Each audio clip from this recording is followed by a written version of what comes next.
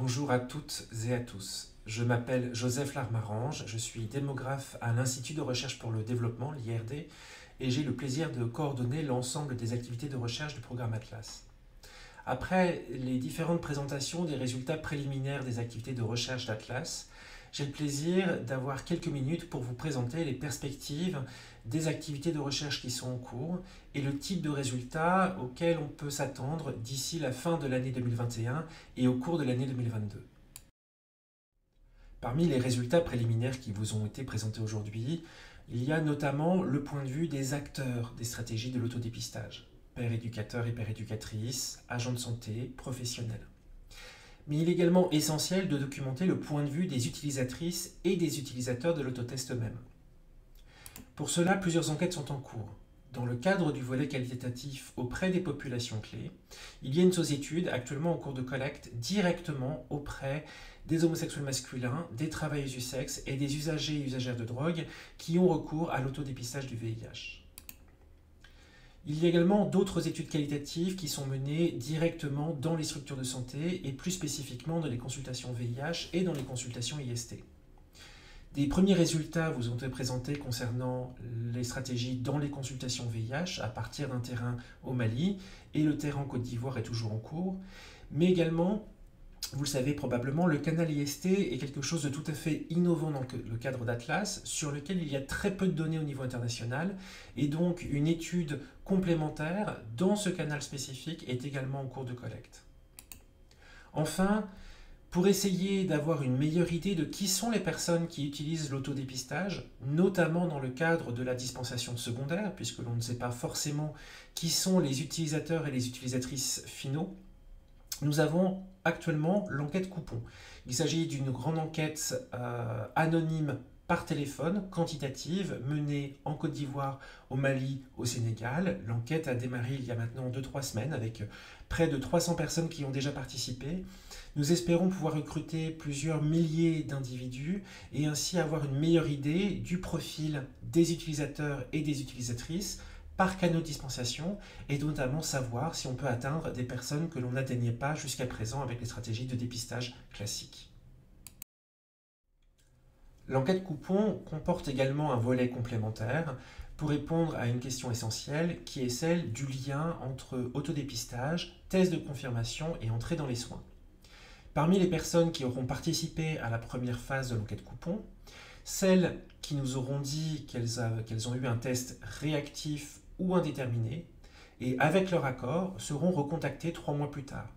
Nous pourrons alors leur demander si elles sont allées faire un test de confirmation, et dans ce cas-là, dans quel type de structure, et le cas échéant, leur demander si elles ont pu initier un traitement antirétroviral.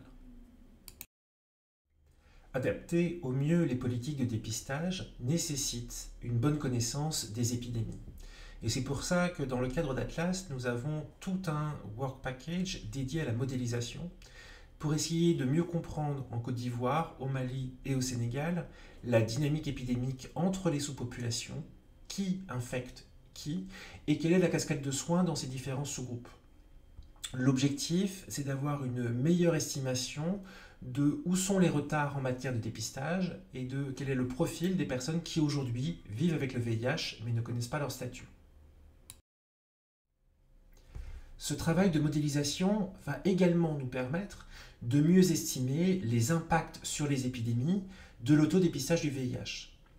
En particulier, avec les modèles qui sont développés dans le cadre d'Atlas, nous allons essayer de mieux comprendre quel a été l'impact à court, à moyen terme du programme Atlas proprement dit, mais également quel pourrait être l'impact de différents scénarios de passage à l'échelle de cette stratégie, que ce soit en matière de personnes qui connaissent leur statut, de nouvelles infections évitées ou d'années de vie gagnées pour les personnes vivant avec le VIH. Pour mieux comprendre le lien entre les activités menées dans Atlas et euh, ce qu'il se passe à d'autres étapes de la cascade, nous sommes également en train de trianguler différentes données programmatiques et en particulier de croiser les données de dispensation d'Atlas avec les données des programmes nationaux qui sont renseignées dans les différents DHIS2 pour voir si on observe des différences en termes de nouveaux diagnostics et d'initiation du traitement dans des districts où l'autodépistage a été déployé par rapport à des districts qui n'ont pas eu l'autodépistage. Enfin, ce qu'il faut retenir, c'est que Atlas en Afrique de l'Ouest adopte une stratégie ciblée. Nous avons des canaux qui vont cibler les populations clés, les personnes vivant avec le VIH et leurs partenaires, et les consultations IST et les partenaires de ces patients. Mais est-ce que par une entrée euh, ciblée, en ayant une stratégie reposant sur la dispensation secondaire pour pouvoir toucher par effet boule de neige les partenaires de ces différentes populations, peut-on avoir un impact en population générale? Dans le cas d'un autre programme United, qui est le programme Suga Baby, qui est euh, cette série télévisée euh, qui est diffusée actuellement en Côte d'Ivoire, nous allons mener une enquête en population générale sur une région, la région du Bassa-Sandra, dans le sud-ouest de la Côte d'Ivoire. Et en comparant les données de cette enquête en population générale qui sera réalisée fin 2021 avec les données d'enquête précédentes, notamment l'enquête FIA et les enquêtes démographiques et de santé, nous pourrons voir si il y a des changements observables à l'échelle de la population euh, dans cette zone où le programme Atlas a été déployé en particulier. Enfin, vous le savez, la question économique, elle est cruciale dans tous les programmes de santé et du coup, il importe de pouvoir mieux comprendre euh, si la stratégie d'autodépistage est co-efficace. Pour cela, euh, vous avez eu aujourd'hui une première présentation des données de coûts qui sont collectées dans Atlas, mais en croisant tous les travaux sur les données de coûts avec le travail de modélisation épidémiologique, il est possible de mettre en regard certains coûts par rapport à un résultat épidémique et du coup de faire des analyses de coût-efficacité. L'autre élément, c'est que euh, toujours en lien avec ces différents scénarios de passage à l'échelle qui vont être testés dans le cadre du travail de modélisation, on pourra faire un travail économique pour voir quel serait l'impact budgétaire pour les programmes nationaux de ces différents scénarios de passage à l'échelle et de mettre du coup en regard les coûts avec les gains.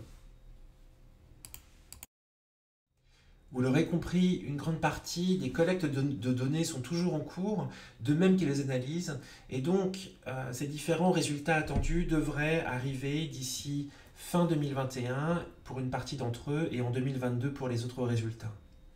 L'ensemble de ces activités de recherche ne serait pas possible sans l'implication de tous les partenaires du programme Atlas, que ce soit les partenaires de mise en œuvre à haut niveau politique et institutionnel, mais également toutes les structures avec lesquelles nous travaillons au quotidien pour la mise en œuvre du programme, mais également tous les partenaires de recherche, que ce soit des partenaires africains ou internationaux. Je vous remercie pour votre attention et nous sommes à votre disposition pour toutes questions.